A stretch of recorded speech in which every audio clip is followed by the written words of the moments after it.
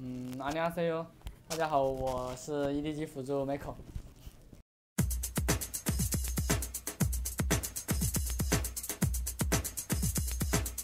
啊，就能来到全明星，其实比较荣幸的一件事情吧。对，还是很高兴、很激动，可以和很强的，就是队员一起打比赛。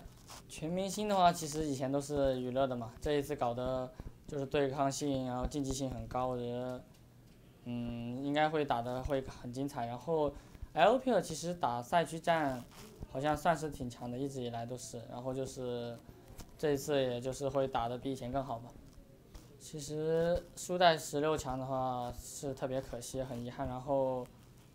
就是还是就是遗憾的要就是自己没有打好吧，然后整个队伍也是没有发挥到很好的状态，就是很对不起一些支支持我们很久的粉丝。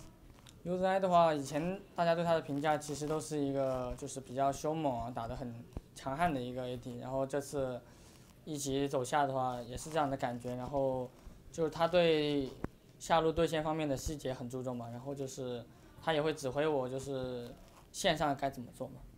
嗯，其实我感觉我们最要警、最警惕的也就是他们下路吧。我觉得龙珠下路也很强，不知道。嗯，这个说实话我也不知道哎。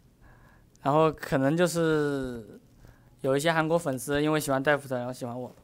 就我也是第一次知道韩国有很多粉丝喜欢我，就大家继续支持我，我以后会打得越来越好。谢谢大家。